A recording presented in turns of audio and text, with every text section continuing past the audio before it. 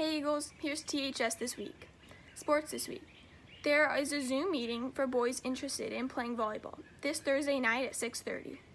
There are over 50 colleges represented in various Zooms this week, including Performing Arts, STEM universities, and Cal Poly Preview Day. Don't miss out on these free opportunities to learn more about your post-high school choices.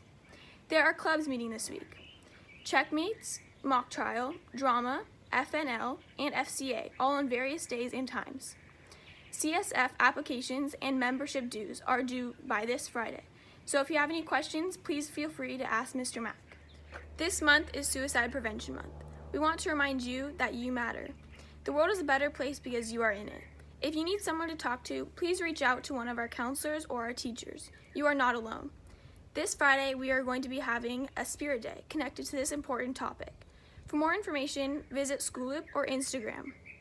For links to everything I just mentioned, please check out School Loop at the box that says Look Right Here or the Campus Life Calendar.